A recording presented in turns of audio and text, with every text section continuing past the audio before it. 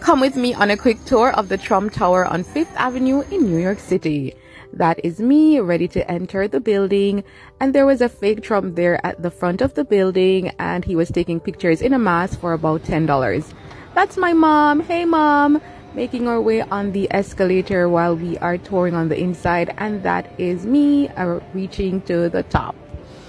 And guys, look at the tile. Wow. Them look good, don't? Luxurious. And take a note of this footage from the top of the escalator. Look at the opulence. Look at the gold trimmings. For those who are in architecture or design, yeah, this would definitely be a dream to just take note of. I absolutely loved it. That was the Trump Grill. Persons could just come in and grab a bite certainly on the pricier end. I think I saw a burger for like 30 odd dollars. And of course, that was like emblems and flags regarding the 45th president.